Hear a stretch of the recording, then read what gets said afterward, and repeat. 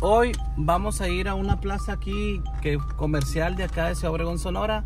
Aquí en la plaza, ¿cómo se llama la plaza? Plaza 300. Plaza 300, que está por la, en la- era el BH 305 de febrero. Y vamos a enseñar unos, unos negocios que aún siguen funcionando y entrar por la plaza donde era el BH para que vean cómo quedó y cómo está.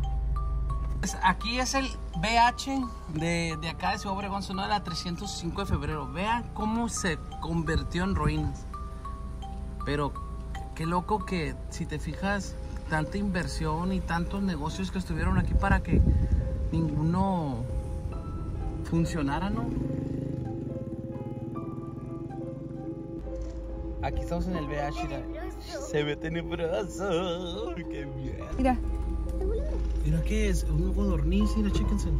Allá va, allá va, allá va, allá va, allá va. Ah, mira, ese. Ahí está, está bien grande, ¿verdad?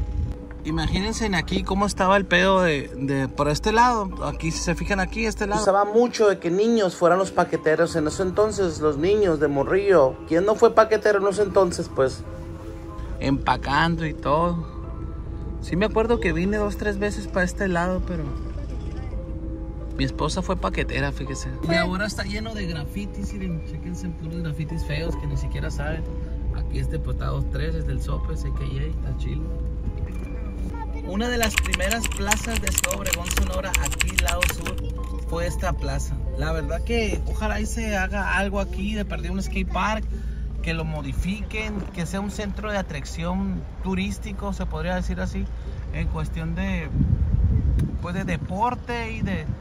Aquí no es muy común que hagan eso de los skate park como en otras partes, o a lo mejor no existe, o sí existe, pero no hay esa difusión de, de este tipo de, de juegos, pues porque en otras ciudades sí hay, o porque no ha habido el apoyo. Hay gente pues que trabaja aquí también pues que vive, como les comento. Está en ruinas aquí, le digo. Todo esto se convirtió en unas ruinas. ¿Esto plaza en qué año se formó? No. Y estamos enseñándole a la gente que trabajó aquí cómo fue que, que esta plaza se pues se dejó de funcionar, ¿verdad? Hace mucho tiempo, jefe. Hace mucho, va. Sale, pues nos vemos. Y aquí eran las plazas, ¿qué te gusta? A lo mejor había un Minerva, ¿no? Pues aquí era una Coca-Cola, Cincho era como, como, se ve como que comida, sí. Una tienda. Una tienda, una comida. ¿Cuáles son? Dos que, que siguen funcionando es la papelería esta y el Fíjense que después de tanto tiempo, las, los únicos negocios que siguen, que siguen funcionando aquí es este. Es un negocio que tiene ya mucho tiempo que es la, es una papelería, mercería Papelería familiar. familiar. ¿Y, y este cuántos años tiene más o menos?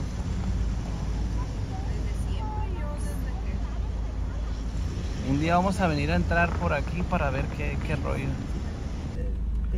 Chequense en papelería en general. Ya ni siquiera se ve nada. Parece que está como tipo en ruinas, pero no, aún sigue funcionando porque estamos en febrero, ¿no? Y todavía está aquí lo del San Valentín. Miren gente, este, si se checan aquí, pues aquí eran varios locales que, que en esa época pues la gente venía, hacía muchas cosas así como pues eran varios y ya varios locales. Qué lástima que, que están en el abandono no deberían de donarlo a alguien y, y que alguien se encargue de darle mantenimiento porque es un lugar muy grande pues. De perdida que hicieran algo pues de- como de juegos o algo así pues. ¿cómo está Mira, fue hace mucho tiempo ya que todo esto pues ya está en, en- en completo abandono aquí en Ciudad Obregón, Sonora.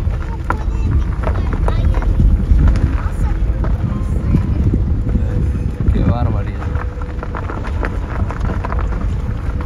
Completamente destruido. Este, esto ya pasa a otra parte, ¿no? ¿Qué son esos hoyos? No, esos hoyos no sé qué serán, pero me imagino que eran las ventanas estas, pues. Los hoyos, los huecos. Todo. Fíjense plebe.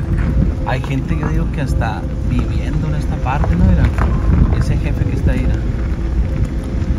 Sí, yo digo que hay de dormir el viejón. Mira el viejón. Anda bien atrapado, anda tomado, mira. No sabe caer el viejón. Y esta es de la. Aquí en la plaza, la única que está funcionando es aquí el Electra.